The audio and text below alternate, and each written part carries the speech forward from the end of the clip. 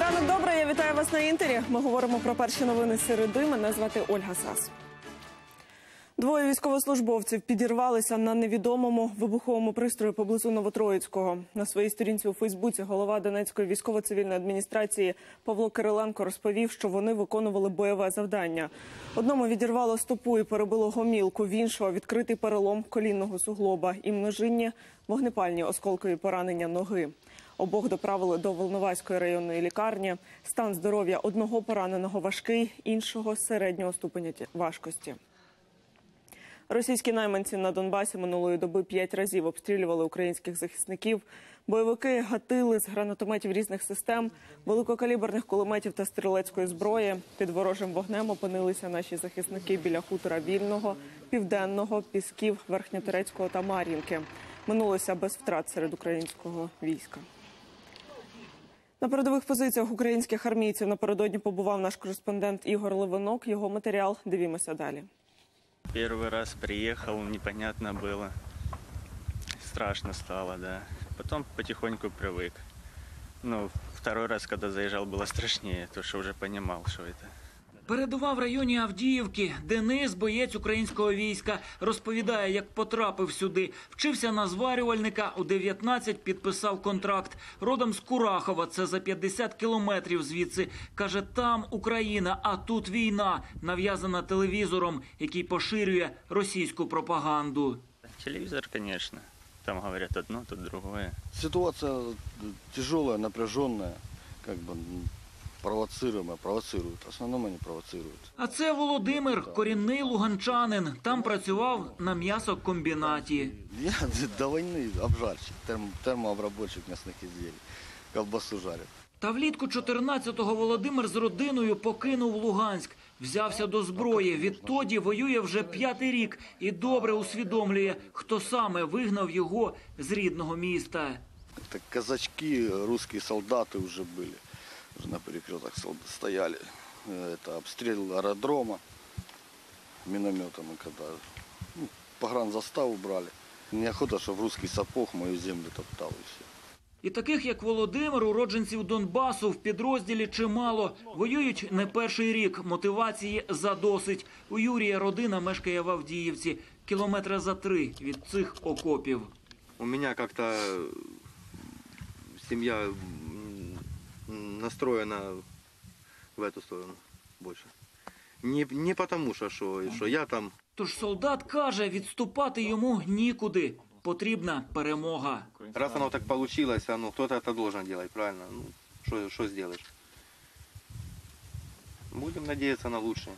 З Донецької області Ігор Левинок, Дмитро Курченко, Іван Шеремет. Новини, телеканал Інтер. Усі перешкоди на шляху до зустрічі в нормандському форматі зняті. Про це повідомила прес-секретарка представника України у мінській тристоронній групі Леоніда Кучма. Останніми кроками в цьому напрямку стало розведення сил в околицях Золотого, Богданівки і станиці Луганської. Двоє українців загинули в Польщі. Вони поїхали на заробітки, збирали яблука у садовому господарстві і жили на його території. Напередодні їхні тіла знайшли в холодильній камері для зберігання фруктів. Наразі правоохоронці оглянули місце події, допитали свідків та повідомили посольство України. На хабарі погоріла представни... е, керівниця одного з головних департаментів офісу президента. Про це повідомляє прес-служба НАБУ. Детективи задокументували факти вимагання 300 тисяч доларів за сприяння у призначенні на керівну посаду до НАК «Нафтогаз України». Чиновницю, її спільницю, як заступницю міністра культури 2011 року, та інших учасників затримали під час одержання першого траншу в 150 тисяч доларів. Наразі за участі працівників СБУ здійснюють невідкладні слідчі дії. Швидка допомога без коліс на Рівненщині. Понад половина автопарку транспорту зношена. Карети швидкої часто виходять з ладу, коли їдуть на виклик. Деталі ситуації з'ясовувала Сніжана Сидорук. Оце на фарнері, знизу нема нічого. Все загнило.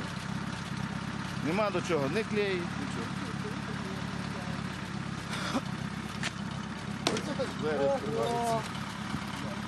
Рембом треба. Носілкам 30 літ. Салон прогнив, двері ледь відчиняються. Це єдина карета швидкої у селі Нова Українка. За 15 років він пробіг 700 тисяч кілометрів. Обслуговуємо ми 12 сіл і садові ділянки. Це приблизно 13 тисяч населення. З першого разу не заводиться, по дорозі ломається. У нас є тут село таке Ріслинка. Там дороги як після війни. Там навіть 20 кілометрів в час їхати не будеш. Старенький УАЗ, як могли, відремонтували водії. Машина вже давно своє відпрацювала. Однак і на таку таблетку чекають хворі. А це вже автопарк обласного центру екстреної меддопомоги та медицини катастроф. На балансі центру знаходиться 134 автомобілі. З них 60% наявного цього транспорту мають 100% знос, тобто підлягають списанню. Центр обслуговує всю Рівненську область. Щодня більше як 700 викликів. 300-тисячне місто цілодобово обслуговують всього 15 автівок, а треба хоча б 24. Це наш зламок, гнилий повністю. Що тут, що спереду, що знизу. Востаннє спецавтомобілі від держави місто отримало у 2014 році. Відтоді п'ять автівок передав благодійний фонд. Ще дві машини виділила держава. Щоб хоча б частково оновити парк швидких, треба півсотні нових карет. Одна така автівка коштує понад 2 мільйони гривень. Проте на це ані в області, ані в міста коштів немає. А гроші з держбюджету затримуються. При потребі десь 200 мільйонів річні. е, У нас наразі кошторис складає 167 мільйонів. Значить, не вистачає коштів на заробітну плату, на ремонт автомобілів, на спецодяг для медичного персоналу, на е, ремонт і повірку медичного обладнання. Медики з острахом чекають сезонних захворювань, адже тоді кількість викликів збільшується втричі. Та чи буде на чому виїжджати до пацієнтів? Сніжана Сидорук, Микола Василюк, телеканал Інтер, Рівненська область. У столиці Саудівської Аравії Ір-Ріяді під час музичного спектаклю чоловік увірвався на сцену та напав із ножем на акторів. Він встиг поранити двох чоловіків і одну жінку. Тепер потерпілі у лікарні. Їхній стан стабільний. Зловмисника оперативно затримали. Ним виявився 33-річний громадянин Ємену. У поліції не уточнили мотиви нападу. Євросоюз створює нову систему протиповітряної та протиракетної оборони з космічними компонентами. Проект Твістер дозволить виявляти, відстежувати та відбивати повітряні загрози останнього покоління, зокрема ракети. Над його створенням спільно працюватимуть Франція, Італія, Іспанія, Нідерланди та Фінляндія. Твістер доповнить уже наявну систему про- протиракетної оборони НАТО.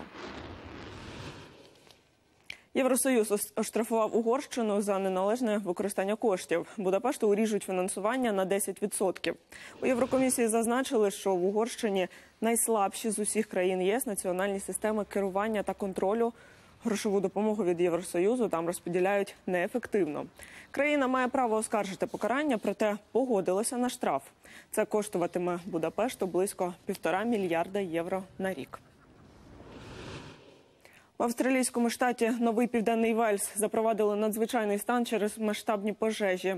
З минулого тижня в регіоні горить чагарник. Полум'я знищило понад 150 житлових будинків.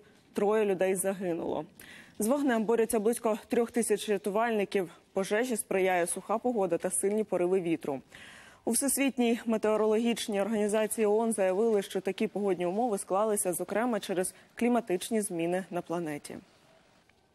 Очевидно, спека зіграла свою роль у цих пожежах. У квітні та жовтні на південному сході Австралії випало на 11% менше опадів порівняно з показниками, які фіксували у 1990-х роках. А Венецію затопило через сильні зливи. Рівень води у міських каналах підвищився на півтора метра. Нині під водою майже 15% площі Венеції. Особливо сильно в сезон повеней страждають власники магазинів, кафе і ресторанів. Підвезення продуктів стає надскладним завданням. Непереливки й місцевим жителям, а особливо тим, хто мешкає на перших поверхах. Кажуть, у квартирах увесь час сиро, і хоча й туристи знаходять у цьому певний шарм, містянам повені сильно ускладнюють життя. Більше свіжої інформації буде о восьмій. Дочекайтеся.